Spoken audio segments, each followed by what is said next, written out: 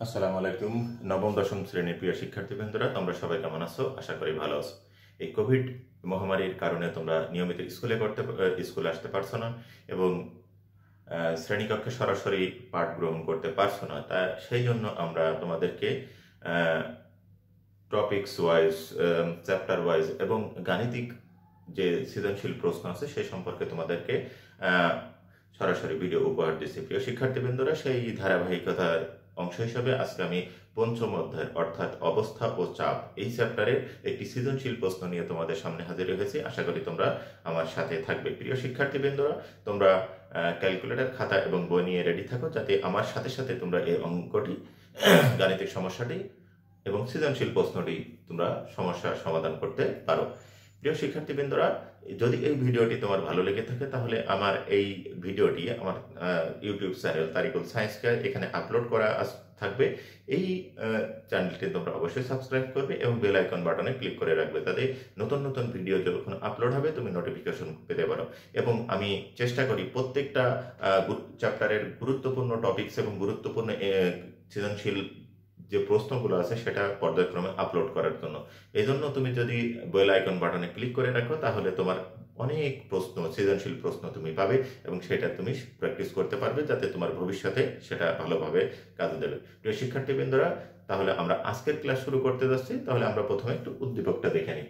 দেখো, উদ্দীপকের আলোকে নিজের প্রশ্নগুলোর উত্তর দাও।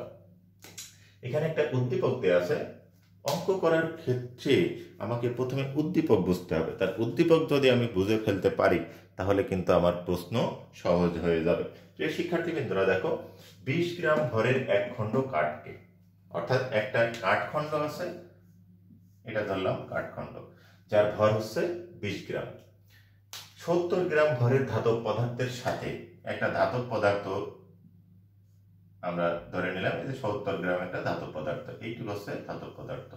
ধাতব পদার্থের সাথে বেঁধে zero point nine seven zero gram per cc g মানে গ্রাম এখানে তোমরা গ্রাম পার সিসি আমি এমটা দিয়ে দিলাম তোমাদের সুবিধার্থে গ্রাম পার সিসি অর্থাৎ এটা গ্রাম পার সিসি একক আছে। ঘনত্বের তরলে ছেড়ে দেওয়া হলো। আমরা জানি গ্রাম পার সিসি থেকে যদি কেজি পার মিটার কিউব করতে পারি।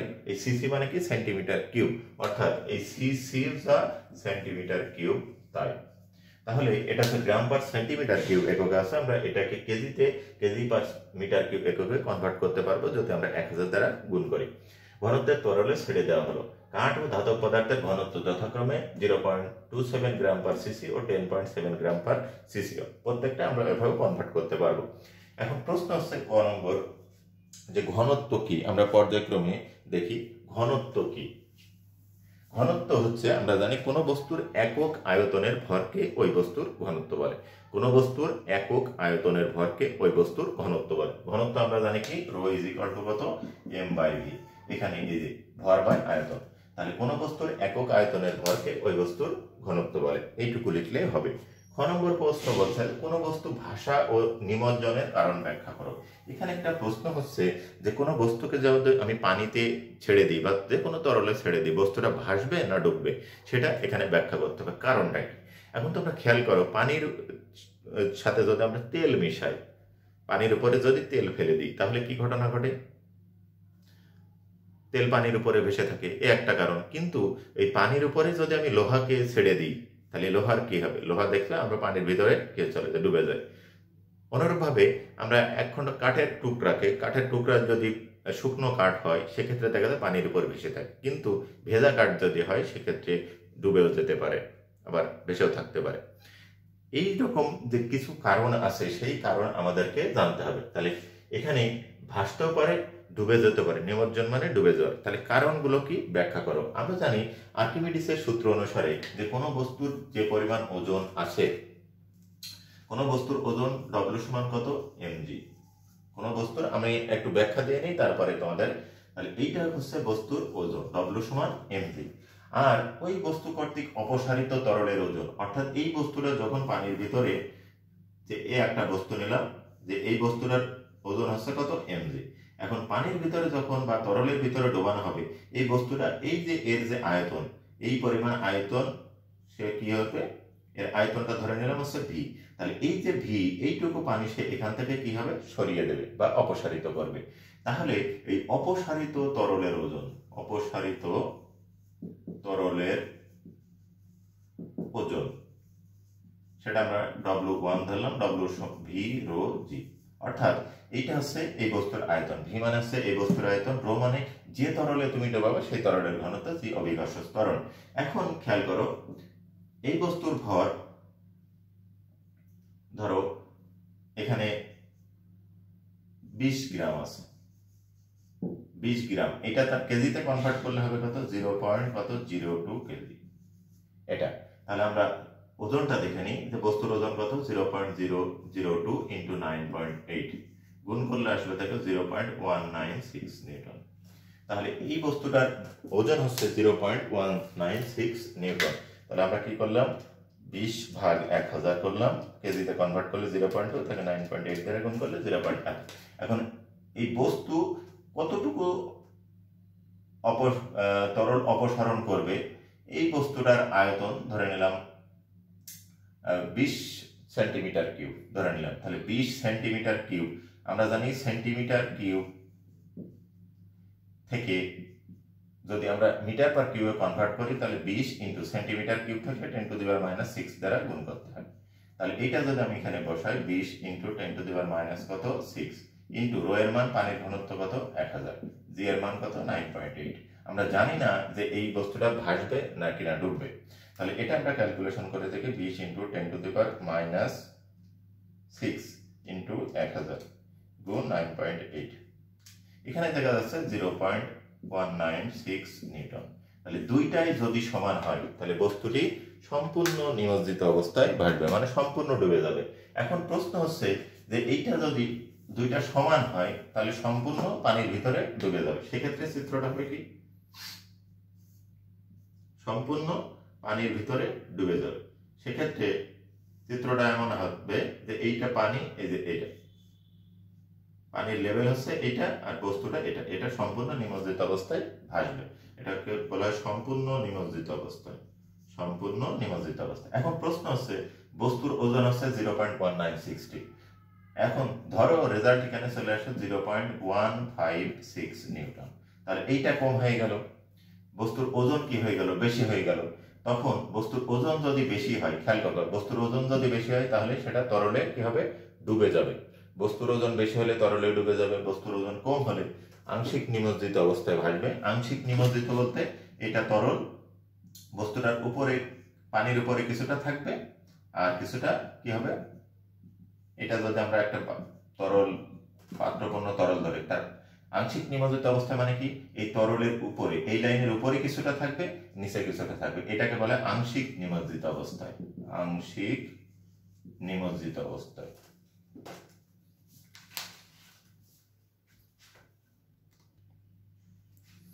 প্রিয় শিক্ষার্থীবৃন্দরা, বিদ্যুৎ বিভ্রাটের জন্য সাময়িক অসুবিধার জন্য দুঃখিত। তাহলে আমরা কি বলতেছিলাম? যে কোনো বস্তুর ওজন যদি যে তরল আমি ডুবাবো, তার ওজনের যে পরিমাণ পানি অপসারণ করবে তরল অপসারণ, তার ওজনের থেকে যদি বেশি হয়, তাহলে এই বস্তুটা ডুবে যাবে।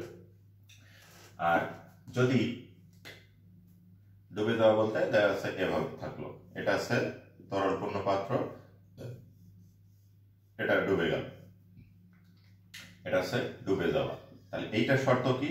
যে বস্তুর ওজন ডব্লু আর এই অপসারিত তরলের ওজন ধরলাম ডব্লু ওয়ান তাহলে এখানে W greater than W one তাহলে ডুবে যাবে। একটা শর্ত, অর্থাৎ ডব্লুর মানের, আর এই দুইটা তোমাকে তুলনা করতে হবে। W greater than W one তাহলে বস্তুর ওজন যদি বেশি হয়, তাহলে বস্তুরই তরলে ডুবে যাবে। এখন যদি কম হয়, তাহলে সেক্ষেত্রে কি হবে? এইটা হচ্ছে আংশিক নিমজ্জিত, তার মানে কিছুটা ডুবে থাকবে, কিছুটা বেঁচে থাকবে। সেক্ষেত্রে শর্তটা হচ্ছে উল্টা। সেক্ষেত্রে এই বস্তুর ওজন হবে কম, আর অপসারিত তরলের ওজন হবে বেশি। তিন নম্বর শর্ত যেটা, দুইটাই যদি সমান হয়, যেটা এখানে দেওয়া আছে, সেটা আছে সম্পূর্ণ নিমজ্জিত অবস্থায়। তার মানে সম্পূর্ণ ডুবে যাবে। সম্পূর্ণ নিমজ্জিত অবস্থায় ভাসবে সেখানে আছে, অর্থাৎ বস্তুর ওজনও দেওয়া হবে, বস্তু দ্বারা অপসারিত তরলের ওজনও তাই হবে। এই হচ্ছে তিনটা শর্ত। তাহলে আমরা কোনো বস্তু ভাষা এবং নিমজ্জনের কারণ ওজন দ্বারা ব্যাখ্যা করতে পারি এবং ঘনত্ব দ্বারা ব্যাখ্যা করতে পারি। সেটা আছে, এটা ওজন দ্বারা আমরা ব্যাখ্যা করব। ঘনত্ব দ্বারা ব্যাখ্যা কি? সেম ঘটনা। যে বস্তুর ঘনত্ব বস্তুর ঘনত্ব ধরো ডব্লু আর তরলের ঘনত্ব হচ্ছে ডব্লু ওয়ান এটা হচ্ছে বস্তুর ঘনত্ব বস্তুর ঘনত্ব আর রো ওয়ান হচ্ছে তরলের ঘনত্ব। সেম নিয়ম হবে তখন যে বস্তুর ঘনত্ব যদি বেশি হয়, বস্তুর ঘনত্ব, আমরা ওজন দ্বারা শিখলাম এবং ঘনত্ব দিয়েও শিখে রাখি। যে বস্তুর ঘনত্ব, তাহলে rho greater than rho one তাহলে কি বলা হলো? বস্তুর ঘনত্ব বেশি, কার থেকে? তরলের ঘনত্ব। এই ক্ষেত্রে কি হবে? ডুবে যাবে। দুই নম্বর হচ্ছে rho less than rho one কি হবে? আংশিক নিমজ্জিত।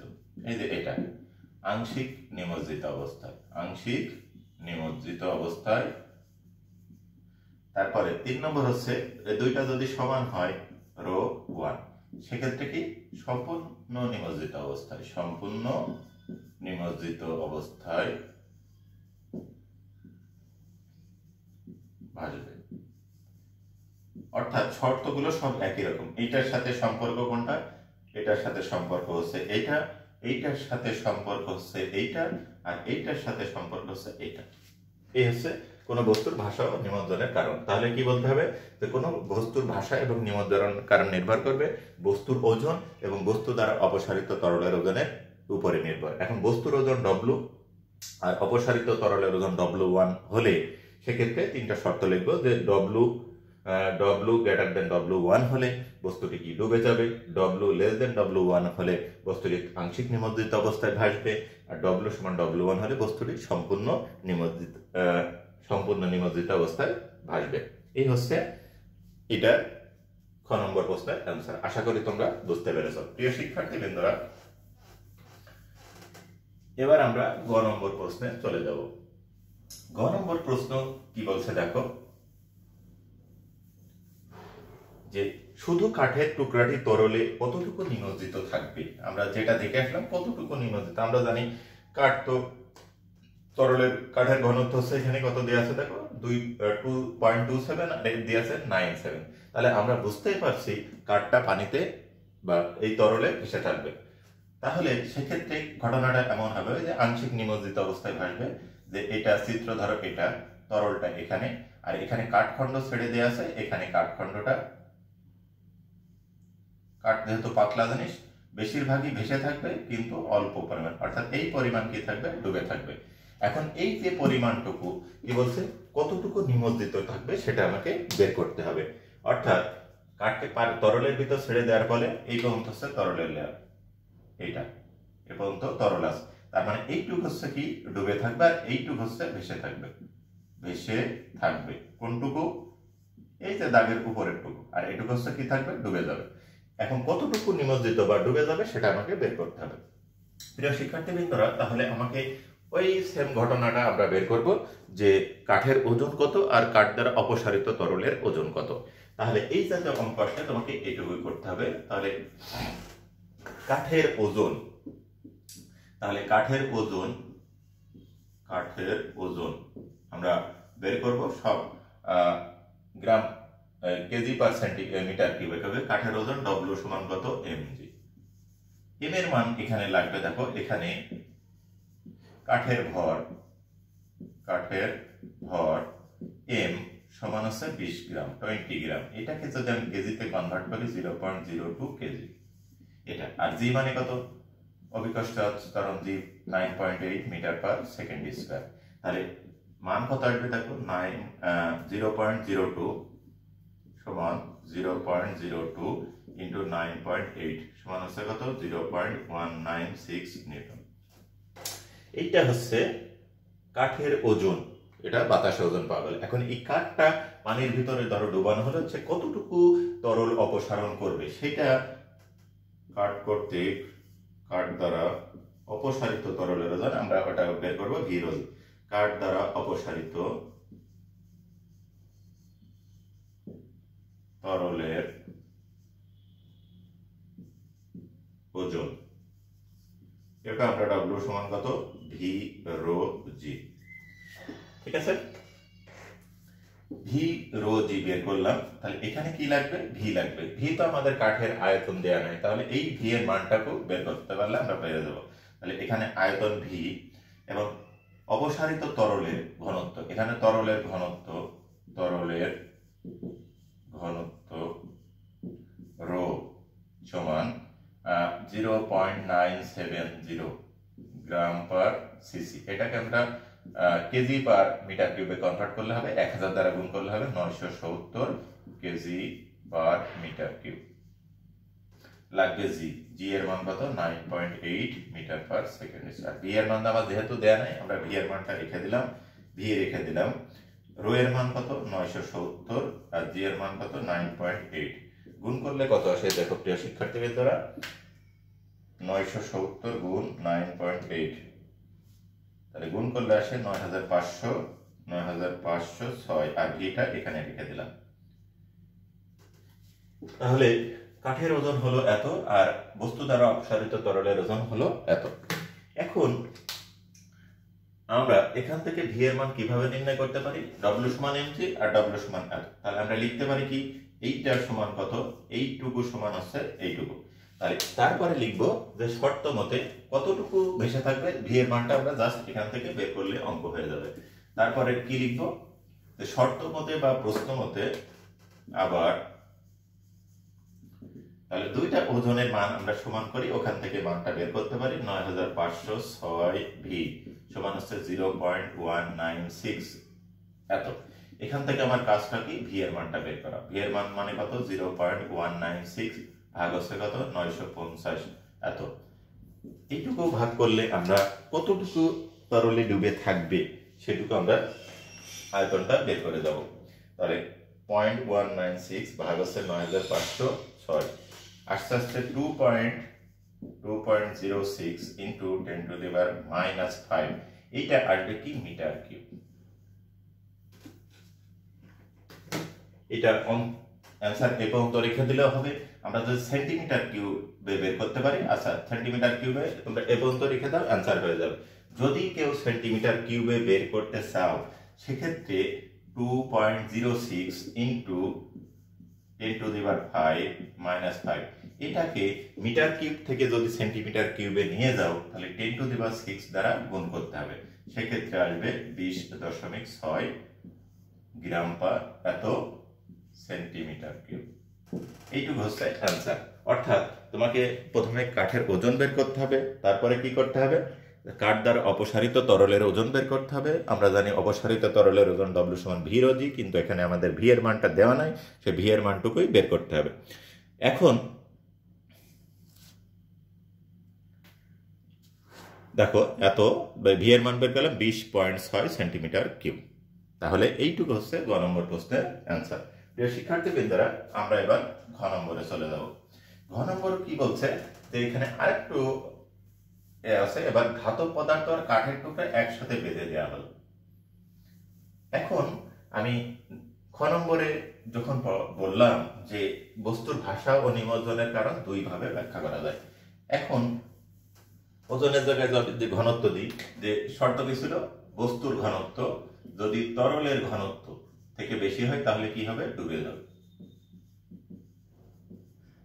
আবার রো লেস দেন কত? রো এল আমরা লিকুইড বোঝাচ্ছি। তাহলে কি হবে? আংশিক নিমজ্জিত অবস্থায়, আংশিক নিমজ্জিত অবস্থায় থাকবে। আর রো সমান আছে রো এল হলে কি হবে? সম্পূর্ণ নিমজ্জিত অবস্থায় থাকবে। সম্পূর্ণ নিমজ্জিত। এখন এই তিনটা শর্ত থেকে আমরা ব্যাখ্যা করতে পারব। তাহলে আমরা এবার দেখব যে ধাতব পদার্থ আর কাঠ একত্রিত অবস্থায় প্রত্যেকের আলাদা আলাদা ঘনত্ব দেওয়া আছে। কিন্তু একসাথে বাধা অবস্থায় ঘনত্ব হয়, সেটা আমরা বের করব।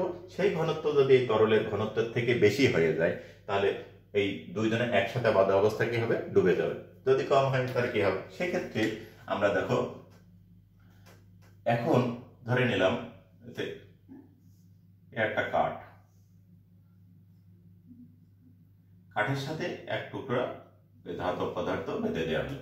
এখন এই অবস্থায় তার কি বের করতে হবে? ঘনত্ব বের করতে হবে। ঘনত্ব যদি বের করতে হয়, এটা হচ্ছে কাঠের টুকরা আর এটা হচ্ছে সেই লোহার টুকরা বা ধাতব খণ্ড এখন এরা আলাদা আলাদা নেই, এখন একসাথে আছে। তাহলে সেক্ষেত্রে আমরা কি করতে হবে? যদি আমাকে ঘনত্ব বের করতে হয়, আমরা ঘনত্ব সূত্র জানি রো ইজ ইকুয়াল টু কত? এম বাই ভি অর্থাৎ বস্তুর ভরকে ঘন যদি আয়তন দ্বারা ভাগ করা যায়, তাহলে ওই বস্তুর ঘনত্ব পাওয়া যায়। সেক্ষেত্রে এখানে বস্তুটা আছে দুইটা, ধাতব খণ্ড আর কাঠ। সেক্ষেত্রে এই জাতীয় অঙ্ক যদি তোমার সামনে আসে, সেক্ষেত্রে এই রো এর, রো সমান কি লিখবা? রো ইজ ইকুয়াল টু আমরা জানি। রো ইজ ইকুয়াল টু কত? সিম্পল ভাবে আমরা জানি এম বাই ভি কিন্তু এখানে বস্তু আছে কয়টা? দুইটা। একটা হচ্ছে কাঠের ঘর আর একটা হচ্ছে ধাতব খণ্ডের ঘর সেজন্য এম এর পরিবর্তে লিখবা এম ওয়ান প্লাস কত? এম টু আর ভি এর পরিবর্তে এখানেও তো দুইটা আয়তন পাওয়া যাবে। একটা হচ্ছে কাঠের আয়তন পাওয়া যাবে, একটা পাওয়া যাবে হচ্ছে ধাতব খণ্ডের। তাহলে ভি ওয়ান প্লাস কত? ভি টু এই হচ্ছে সূত্রের সারমর্ম। অর্থাৎ এই জাতীয় অঙ্ক যদি তোমার সামনে আসে, রো সমান কত? M one M M plus M two by V one by V এইটা দিয়ে অঙ্ক করলে হয়ে যাবে। আমরা একটু সরাই লিখি এটা হচ্ছে একের ঘ নম্বর তাহলে আমরা জানি, আমরা অঙ্কে চলে যাই, আমরা জানি rho is equal to M one plus কত? এম টু ভাগ হচ্ছে কত? V one plus V two এখানে এম ওয়ান হচ্ছে কাঠের ভর। এখানে আমরা এবার সাইড নোটটা দিয়ে দিই। এখানে কাঠের ভর কাঠের ভর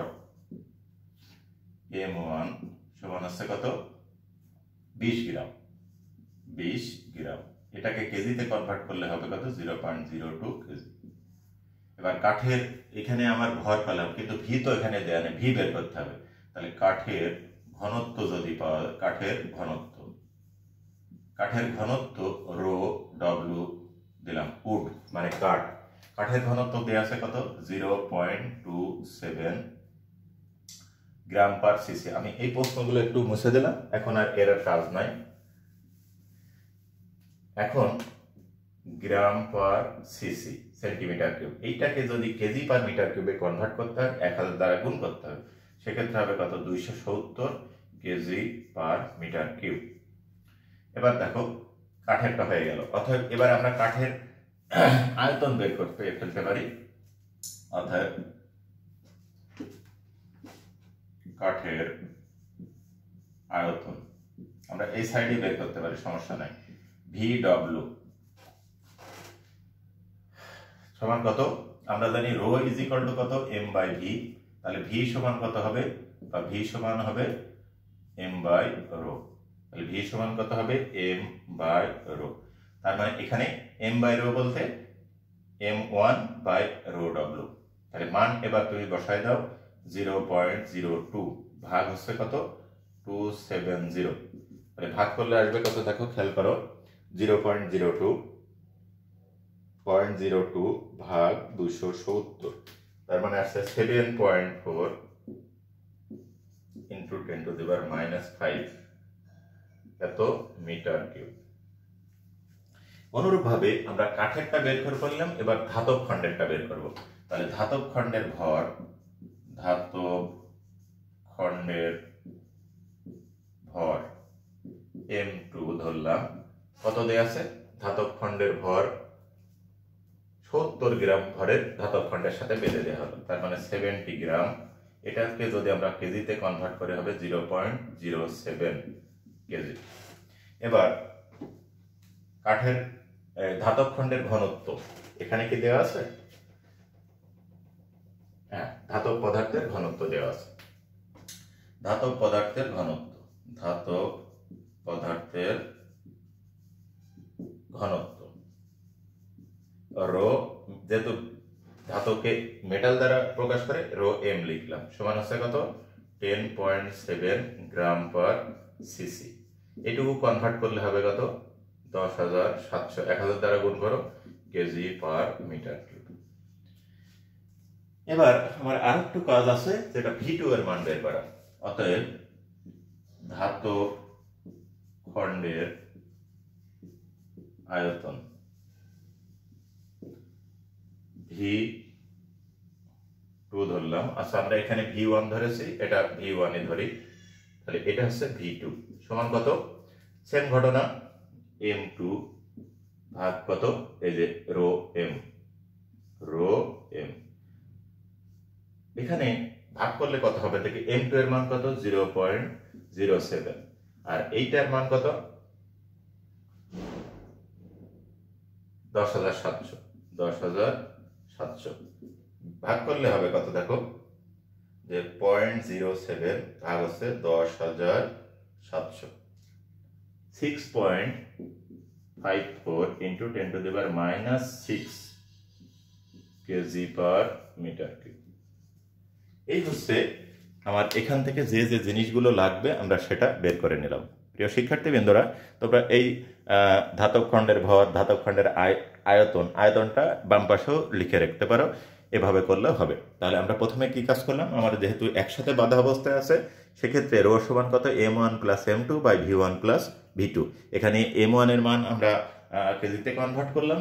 ভি ওয়ানের মানগুলো আমরা ঘনত্ব থেকে বের করে নিলাম। এবার আমরা মান বসালে অঙ্কটা হয়ে যাবে। এম এম ওয়ানের মান কত? Zero point zero two M two এর মান কত? জিরো পয়েন্ট জিরো সেভেন এবার ভি ওয়ানের মান কত? ভি ওয়ানের মান হচ্ছে seven point four into ten to the power কত? মাইনাস ফাইভ যোগ। যোগ হচ্ছে কত? Six point five four into ten to the power কত? মাইনাস সিক্স এইটুকু এবার আমরা ক্যালকুলেটর ব্যবহার করলে দেখি যে উপরেরটুকু যোগ হয়ে নিচেরটা দ্বারা ভাগ হয়ে যাবে। তার মানে কত? পয়েন্ট জিরো টু প্লাস কত? পয়েন্ট জিরো সেভেন ভাগ। Seven point four into ten to the power minus five যোগ six point five four into ten to the power minus six bracket close দিলে হবে এগারোশো সতেরো। এগারোশো সতেরো দশমিক চার পাঁচ কেজি পার মিটার কিউব। অর্থাৎ কাঠের খণ্ড যদি আমি ধাতব পদার্থের সাথে বেঁধে দিই, তাহলে তার বর্তমান ঘনত্ব হচ্ছে এগারোশো সতেরো দশমিক চার পাঁচ কেজি পার মিটার কিউব। এবার আমরা ছেড়েছি কোথায়? তরলের ঘনত্বে। যেহেতু রো গ্রেটার দেন রো, এখানে আমরা তরলের ঘনত্ব লিখতে পারি যে তরলের ঘনত্ব একটা আলাদা, যে রো এল। অথবা তুমি এই জায়গায় একবারে লিখতে পারো যে নয়শো পয়েন্ট নাইন সেভেন জিরো যে নয়শো সত্তর কেজি পার মিটার কিউব। অতএব কাঠ ও ধাতব খণ্ড একত্রে প্রশ্ন অনুযায়ী লিখছি, তরলে কি হবে? ডুবে যাবে। এই প্রশ্নের আনসার আশা করি তোমরা বুঝতে পেরেছ। এরপরেও যদি কোনো প্রশ্ন থেকে থাকে, তাহলে অবশ্যই আমাকে কমেন্ট বক্সে জানাবে। আমি সেই প্রশ্নের উত্তর দেওয়ার চেষ্টা করব। প্রিয় শিক্ষার্থীবৃন্দরা, আবারও বলছি, এই ভিডিওটি যদি তোমাদের ভালো লেগে থাকে, তাহলে অবশ্যই আমার চ্যানেলটি সাবস্ক্রাইব করে এবং বেল আইকন বাটনে ক্লিক করে রাখবে এবং এই ভিডিওগুলো শেয়ার করবে। অবশ্যই অবশ্যই কমেন্টস করবে। যে কমেন্টস দেখে আমি তোমার নতুন নতুন ভিডিও বানানোর জন্য উৎসাহ পেতে পারি। প্রিয় শিক্ষার্থীবৃন্দরা, আজকের ক্লাস এখানেই শেষ করছি। আল্লাহ হাফেজ। আসসালামু আলাইকুম।